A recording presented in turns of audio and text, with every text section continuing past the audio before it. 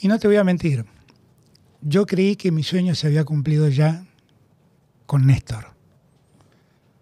O sea, el haber sido el jefe de gabinete de Néstor para mí es lo mejor que me pasó en política.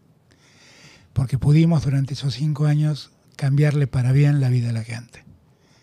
Y, y muchas veces fue, mi lapicera estuvo presente en la promulgación de leyes, en la firma de decretos o en decisiones administrativas del jefe de gabinete.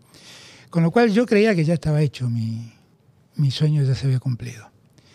Y estaba muy conforme con haberlo cumplido de ese modo. Pero la historia dijo que tenga que hacerme cargo de representar el peronismo en una elección. Y acá estoy.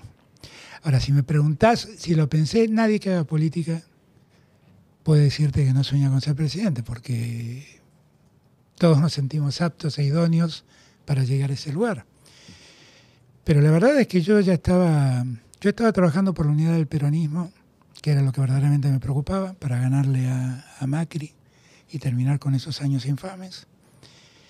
Y, y terminé acá. Casi, casi te diría como una tarea militante.